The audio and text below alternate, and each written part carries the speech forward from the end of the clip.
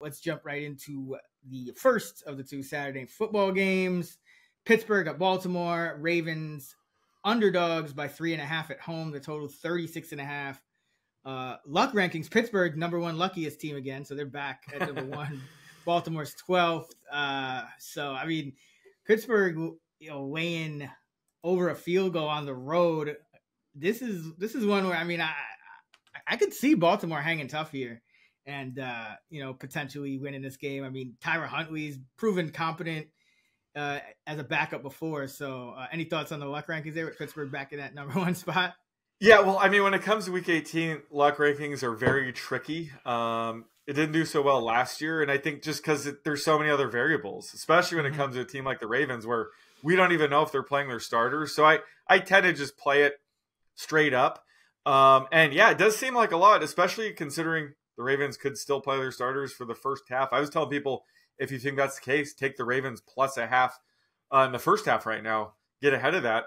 Um, the other thing is, you know, the Ravens they've been so dominant in the preseason, so they're very equipped to to win games with their backups. They've done it a bunch, so this is a sneaky spot. Uh, I haven't seen where like the betting public is for this. I think they would be hammering the Steelers, right? Uh, but that's something I, I think will probably factor into where where I ultimately think the value is. But uh, right now, it's it's too soon to tell like how the Ravens are going to handle this.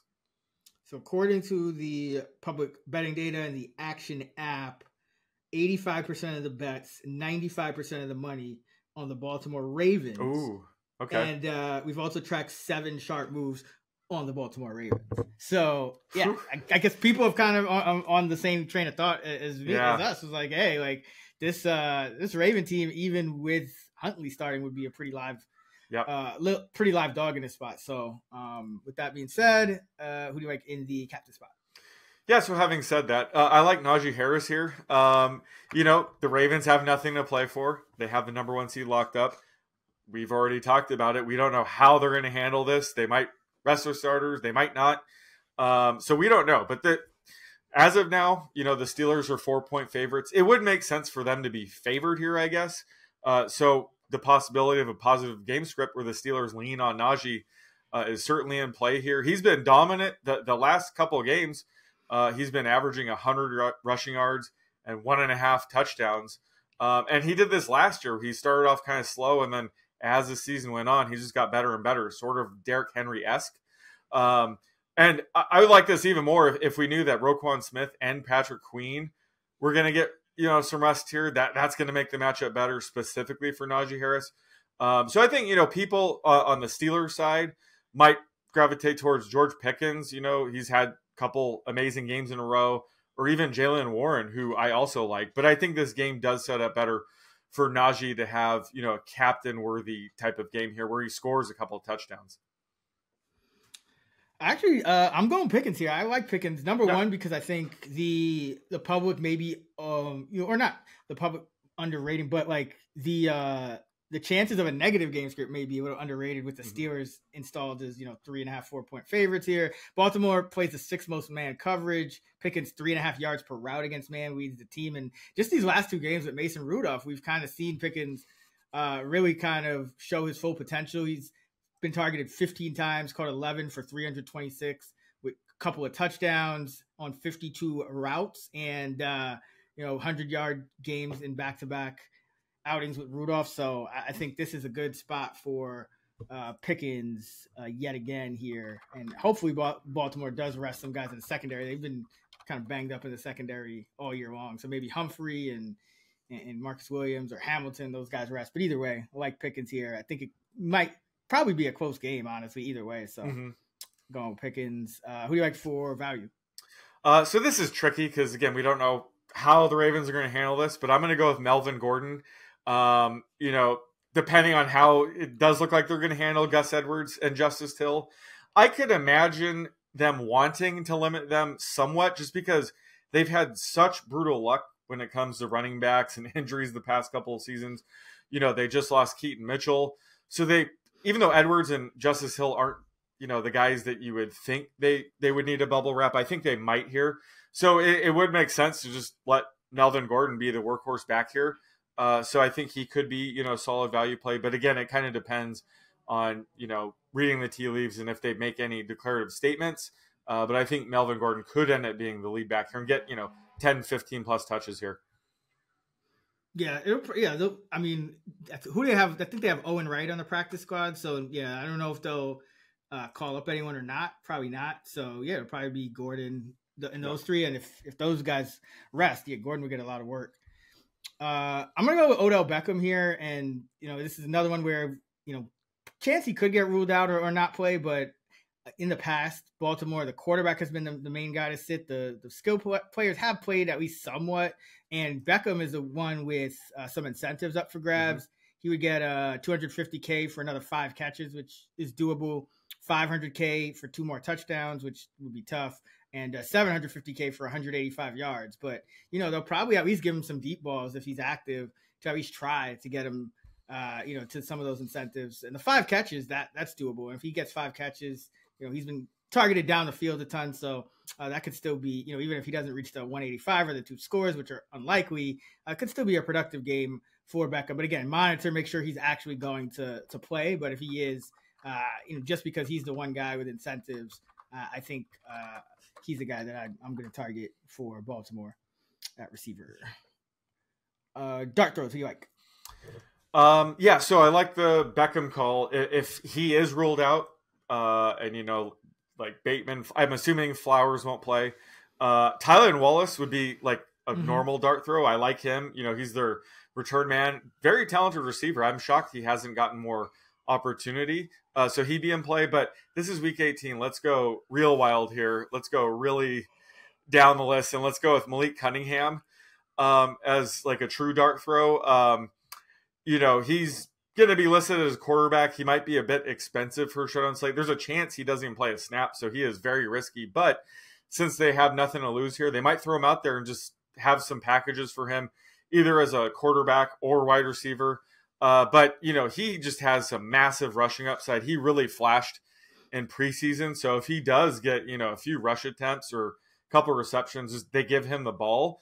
Uh, he's more than capable of you know having a couple explosive runs or catches here. So I think he could be very interesting in large GPPs where I think his rostership's going to be microscopic. But uh, there's there's a path for him to have you know a handful of touches here and go off. Yeah, I mean, there's even I, I, probably an outside shot he could get to start. I mean, they could be like, "Hey, we know we know what we yeah. got in Huntley, we know what we got in Johnson. Let's just see. Yeah. What, you know, no one's really seen Malik Cunningham, uh, you know, play quarterback for an extended period, so uh, wouldn't rule it out. So yeah, I like that one a lot.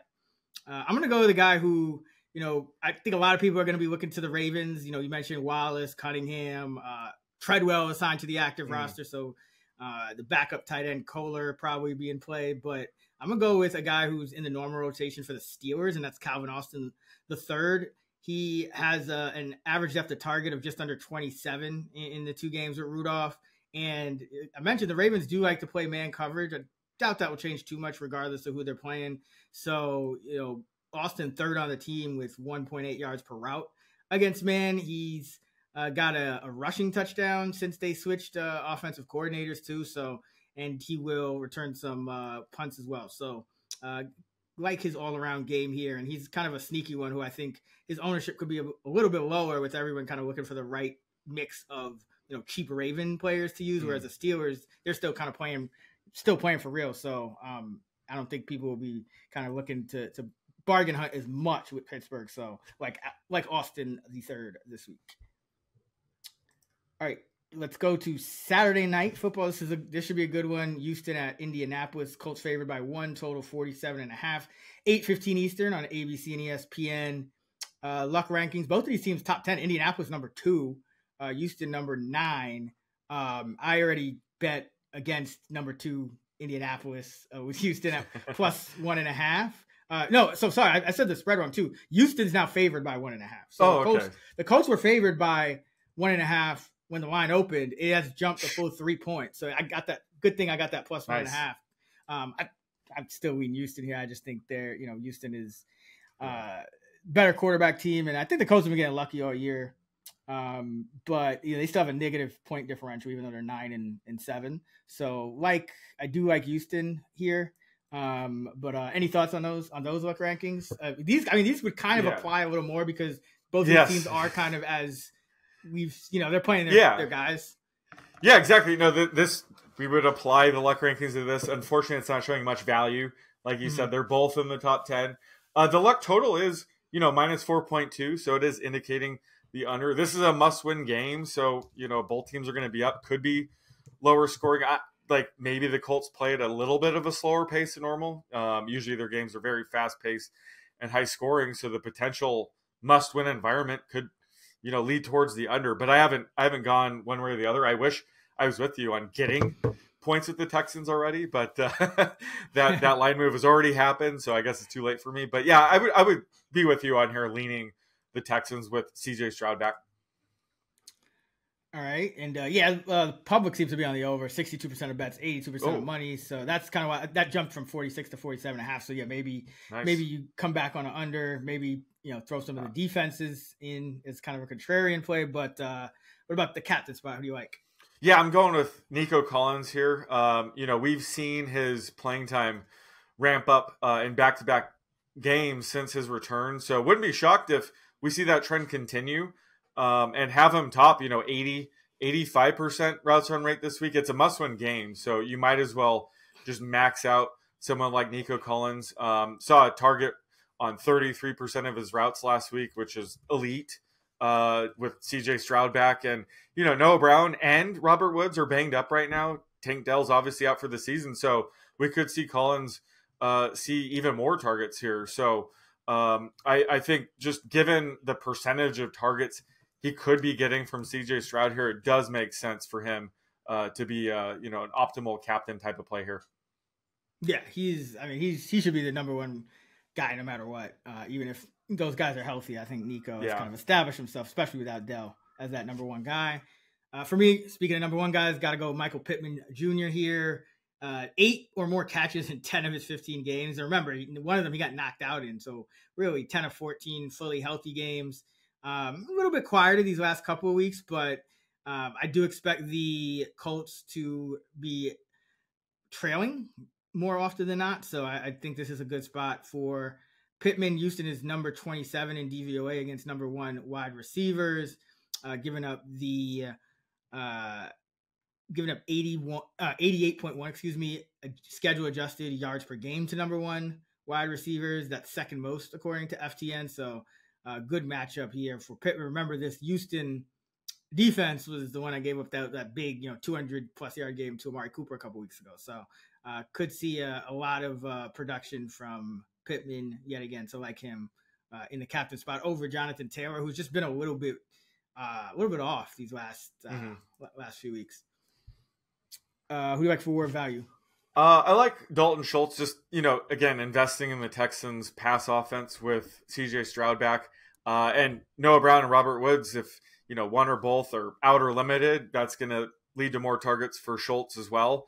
Um, he also is an incentives uh, play this week where he needs six receptions uh, for quarter million dollars and 107 yards for another quarter million. Um, those are both in range for him specifically. It's it's already a matchup that does set up for more of a ceiling game for him. The Colts, uh, very so, zone heavy uh, defense, so you know Schultz typically gets uh, more production against zone. Um, so it makes sense. He's going to be one of the top plays in this game. You could even use him in the captain slot as a semi contrarian play, but overall, I think he's a great you know value play here.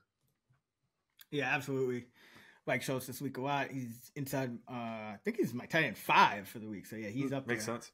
Uh, I'm going with Devin Singletary here. Last six games with Dameon Pierce back, 19 touches, 99 scrimmage yards per game. Only one touchdown, so getting a little unlucky in that category. But uh, Indianapolis 24th in DVOA against the run. Uh, Singletary actually does have an incentive. He gets, I think it's 165 yards. Uh, he gets uh, like 125k, so not a big incentive. Doubt, you know, doubt he gets there, but it's a little bonus. But either way, I, expect Houston to have more of a positive game script. Pierce, you know, the coaching staff mentioned he's been kind of learning a new. They've changed their scheme apparently since Pierce first went down with injury. Uh, so that's kind of why Pierce hasn't really been seeing as much work. So Singletary, good bet for 15 to 20 touches. Yet again, must win game. Colts 24th in DVOA against the run. So uh, like Singletary this week for Houston. Uh, who do you like for dart throws? Uh, I like Kylen Granson, um, you know, because Andrew Ogletree's arrest, you know, landed him on the commissioner exempt list. Um, so that this four-way tight end committee for the Colts has now turned into more of a three-way committee. Um, and actually, last week it was more of a two-way committee because, again, it's almost impossible to project these guys. But Will Mallory's playing time took a huge hit, and Mo Alie-Cox went way up. Uh, but the only consistent guy in this tight end group has been Kylen Granson. We can usually pencil him in for around a 45% routes run rate. Uh, that's where he's been over the last four. Uh, but he's also seen a pretty solid target rate of 23% over that stretch. He's actually had two games of 60 plus yards uh, over the last five. So that, that would be more than enough uh, on a single game slate to, to land him in the winning lineups. So, you know, he's the starting and lead tight end for the Colts. So he's, you know, not that much of a dart throw, but I think, you know, his rostership – will be a bit lower. So I think he's a guy that's kind of sneaky uh, and has a higher floor than people realize. Yeah, he's been he's been playing well, and especially when you take one of those guys out of the mix, that that does give yeah. at least yeah. some some type of floor. Because when it was four guys splitting it, I mean they were all running a route like 25, 30 percent. so now least Granson's back up in the fifties, which is what he's yep. been in uh, most of the year. I'm gonna go with the tight end as well. Uh, Brevin Jordan for the Texans. He played uh, 47% of the pass snaps, even with Schultz active last week. Ran around on 32% of the dropbacks, had multiple catches each of the last two games.